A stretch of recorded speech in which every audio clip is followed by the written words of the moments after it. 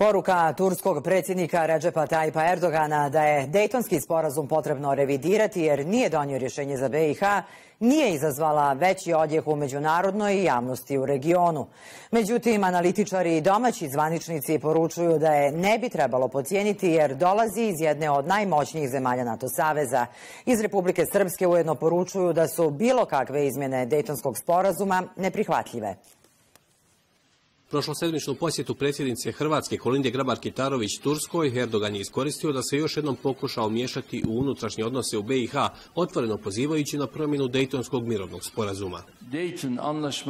Revizija Dejtonskog sporazuma je neophodna. Postalo je jasno u vremenu koje je prošlo da Dejtonski sporazum u sadašnjem obliku ne može da dovede do rješenja vezanih uz budućnost BiH. Vjerujem da Ujedinjene nacije moraju ponovo da se umiješaju i da preduzmu mnogo snažnije korake. Predsjednik Narodne skupštine Republike Srpske Nedeljko Čubrilović kaže da uvažava stav Turske kao globalne sile, ali smatra da ovakve izjave trenutno nisu poželjene.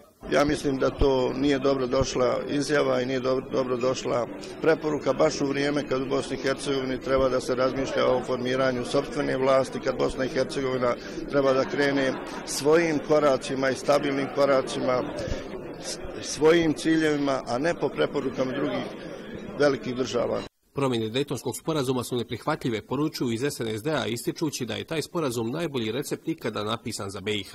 Ovakvim izjavama Erdogan ponovo nastupa kao zaštitnik interesa isključivo bošnjaških partija, smatraju u SNSD-u.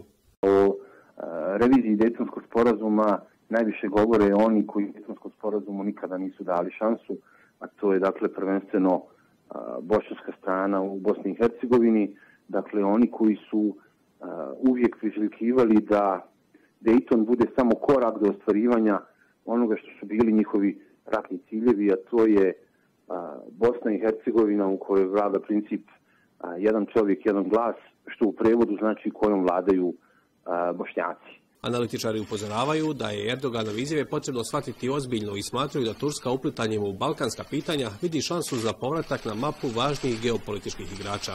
Nije u kojem slučaju se E, politička uloga e, turskog predsjednika Erdogana ne smije podstijeniti. Ni na Bliskom istoku, ni na, ni na Balkanu.